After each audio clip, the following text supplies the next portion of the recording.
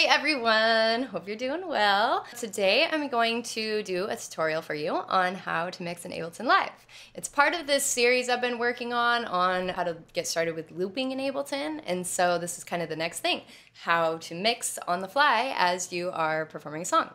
So if you are interested in that playlist, I will have it linked for you so you can check that out. Before we get started, Thank you. I want to say a shout out to Sweetwater for partnering with me and sponsoring this video. They hooked me up with some super awesome studio monitor headphones. These are what I'm going to be using today.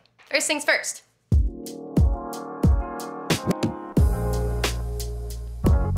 Mixing is super important because you want everything to sound nice to the listener. You want them to be able to hear your voice. You want them to be able to hear an awesome, sick beat that you put down. And you want them to hear the bass, make it fat, and make it sound super cool. You don't want the drums to be overpowering your vocal and they can't even hear a single word that you're saying. So it's good to mix and kind of be aware of this while you're performing can you hear me? Can you hear the chord progression? Can you hear the rhythm part? It's all super important and makes the performance that much better when you have a really solid mix. It's super nice. So that's why it's super important. And as somebody like myself, and probably you, if you're getting into looping, you're a solo performer. You do everything. And so you don't have an audio engineer most of the time to help you and balance that out and be like, oh no, the guitar is way too loud, pull it down. You know what I mean? That being said, I would suggest really solid studio monitor headphones, which is what I have, and you can really just get any studio monitor headphones as long as they are good for mixing. You want to be able to hear all the different frequencies when you are performing because that's going to give you the most accurate representation of what the song sounds like to your listener. So I have tried in-ear monitors. They're good for like a live setting because they don't look so, you know, studio headphone-ish but you could also just kind of rock that look anyways. That's what I usually do. but so for me, I do prefer some really good studio monitors. That's what I would recommend is some good studio monitor headphones. Uh, I would not use like little earbuds or anything like that because they are not going to give you the best uh, balance between all those frequencies so that you can hear everything crystal clear. Also, another tip I would say regarding headphones is every pair of headphones is going to be totally different. These Beyerdynamic headphones are gonna give me a little bit of a different sound than these, which are the Neumann headphones. So switching around when you're doing your audio checks beforehand, it's always a good idea to try a couple different pairs of headphones. Another thing is always check your audio beforehand. Always do a test to make sure that everything is, you know, relatively where you want it to be uh, in the mix, like your the volumes of your bass guitar, your whatever, your piano, your voice, all that stuff, check it beforehand and just make sure it's relatively good, you know, because every song's gonna be a little different.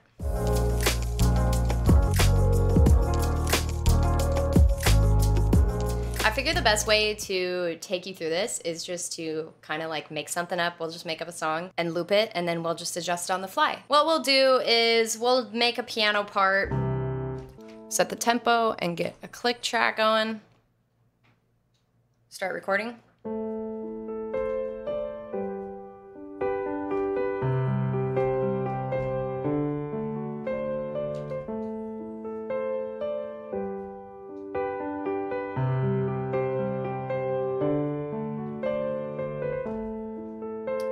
Okay, so we have a piano part. So that's good. Sounds good. Maybe we want to add like a pad or something to kind of make it sound more full. So this is where mixing gets important when you start layering things up.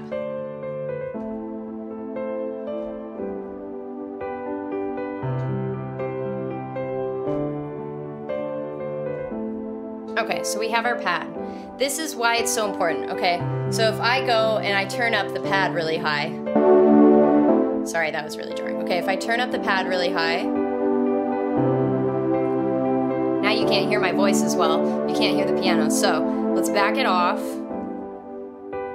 I kind of, what I start to do is just, and you get better at this over time, I feel like when you're performing, but kind of bring it down to where you almost can't hear it and then start bringing it up. So now you can just barely hear it. It's kind of tucked in there like a little like a blanket or something. it just adds this little like ambience below the piano. I love to layer pianos uh, and pads, or also like acoustic guitar, put a pad underneath, and it just kind of gives it more space. It's really cool. So another thing I like to do too is panning left and right. That helps make it so that, actually I'm gonna turn down the piano even a little bit more because I'm feeling like it's too loud over my voice now. Okay, so we have these. That sounds pretty good to me. So you can pan left and right, and that helps kind of set things and give room for other instruments to come in. So let's just move this pad. Uh,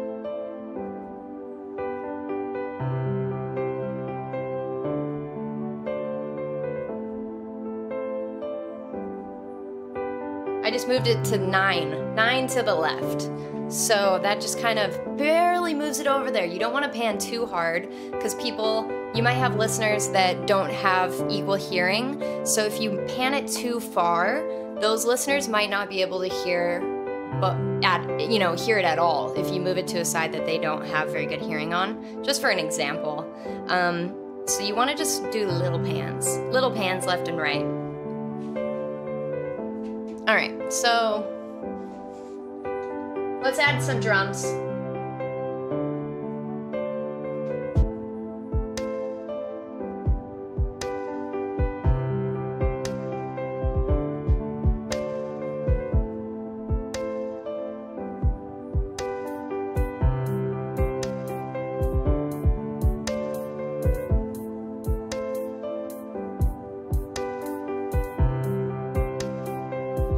Okay, so we have some drums. I usually center my drums.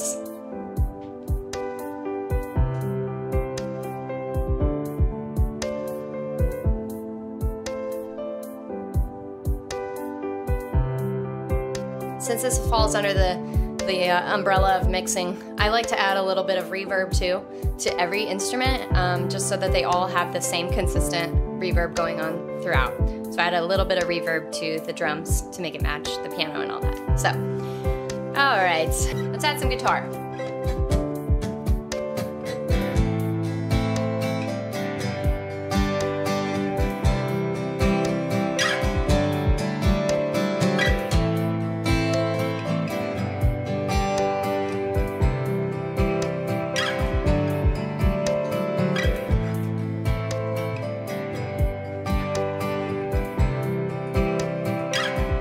Okay, so now you hear when I added that guitar, it's a little too loud. So we can go ahead and turn it down just a little. I like to just hear the strums.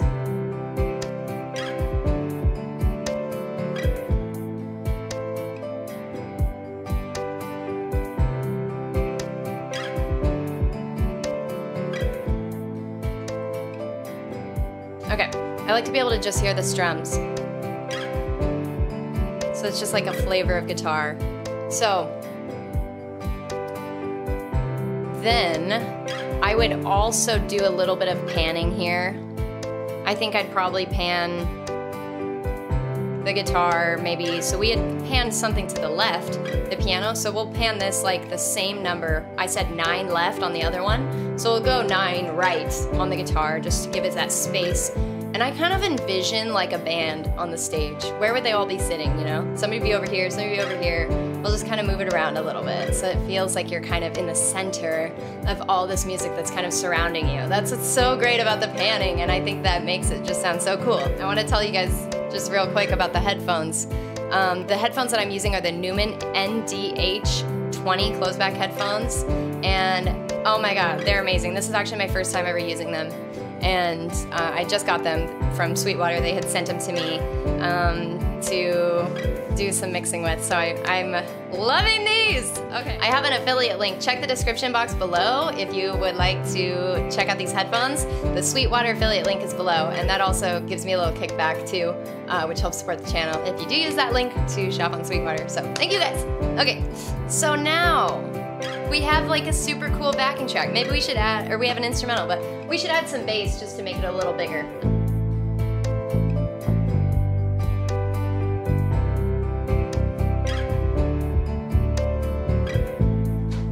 Okay, so there's that. And to me, that's a little loud, so we're gonna bring it down. That's why it's every song is going to be a little different, and you just have to listen as you go and just kind of mix. And so, like I said, uh, I always bring it down a little bit low and bring it up. That always helps me kind of get a good balance. So now I can. Uh, a little pro tip that I've discovered throughout streaming and doing YouTube and stuff is if you, when you're mixing, talk to your audience a little bit and kind of just, you know, tell people what you're doing or, or whatever. You can talk about anything you want. And, you know, tell them, I'm gonna add some bass here, something like that, you know? And that kind of gives you an idea of how much room you have left for your vocals. If you feel like you're kind of straining, if you're straining over top of your mix a little bit, turn things down because um, when you try to sing, you're gonna feel like ah, like like you're trying to like sing way over top of this really loud mix. So I turn it down a little bit as I'm going and I'm talking. As I'm talking to everybody, I'm kind of adjusting things as I go. So I just turn down the piano a little bit right there. Okay, so let's say we're gonna add maybe some vocal harmonies. We'll turn on the reverb. This is a tutorial on how to mix for a loop. This is a tutorial. Okay, so there's our one part. okay, let's add a harmony. So let's say we're making a chorus right now. We need some harmonies. Make it sound cool. On how to mix for a loop. What did I say? This is a tutorial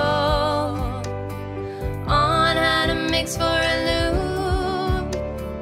This is a tutorial. And I'm turning it up just a little bit because I couldn't really hear it.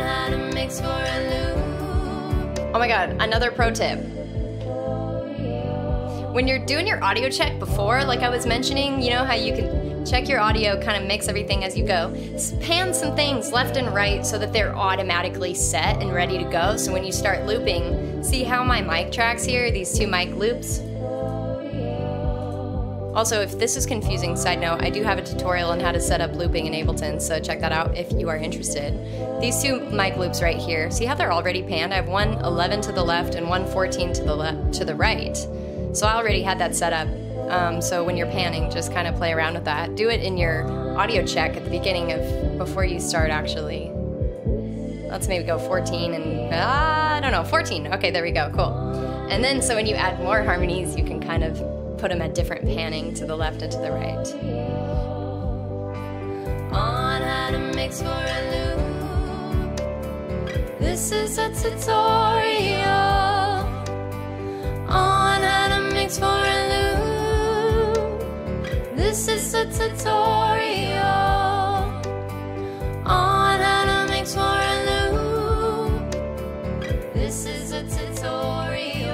I do that. I have such a habit to just mix instantly. I record it and I bring it down and I bring it back up real quick. And the more you do it, the faster you get, and the more it's just muscle memory. You you stop recording, turn it down, turn it back up, just so nothing's like blasting out at your audience. All right. Okay, cool. This sounds pretty good, right? Now we have like a whole thing. Imagine this as a chorus of a song. So now, let's say you want to start singing your verse. So what I like to do, I'm gonna turn off the reverb, okay? I just stopped a couple loops, okay? I know it's, a fast move, so just turn off all of those vocal harmonies that you had made. Or let's say you have like a, another instrument, like um, I have violin. Maybe you're like a guitar player or something like that. Add in a little riff or something, some like counter melody part that you can have only in your chorus or, or something like that just have fun with it at this point and you can start adding a lot of variety. Like in your second verse you could bring that guitar part in and maybe not have it in the first one something like that. So um, there you go. That's pretty much it. So now we sing our verse. We're singing on top of this. I had stopped the mic loops the bass and the pad. I just make sure that it's a lot thinner sounding for the verses. And then when you get to the chorus, it all comes in really big here. Hi, doggies.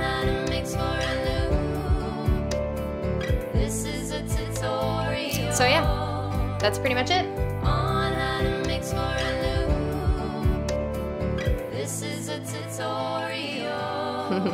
this is how we bring it back down for our bridge or for our outro. So that is it. Well, guys, that pretty much sums it up. Um, of course, this is just a very basic example. You can always add so much more or do whatever, you know, to make it unique to you. And like I said, add some guitar parts, or for me, like I add violin parts, whatever cool instrument you play, add that in there. I hope this tutorial was helpful to you. If you have any ideas for future videos you want to see, like tutorials or songs or anything like that that you would like to see, let me know. Leave me a comment. I would love to see your guys' thoughts and feelings. My affiliate link with Sweetwater is in the description, so be sure to use that if you do shop on Sweetwater. That helps me out so, so much, so thank you so much for doing that. And thank you guys for watching. Subscribe if you're new here, and be sure to come by someday. I do lots of live streaming on YouTube and on Twitch, and I also post lots of tutorials and other videos here on YouTube, so check that out if you are new here. I'd love to see you. Um, my schedule for live streaming is in the description, so you can see that. And thank you again to Sweetwater for sponsoring this video. Really appreciate it, you guys. Thank you so much. These headphones are amazing and love them. Thank you guys. I will see you guys in the next one. Bye, everyone.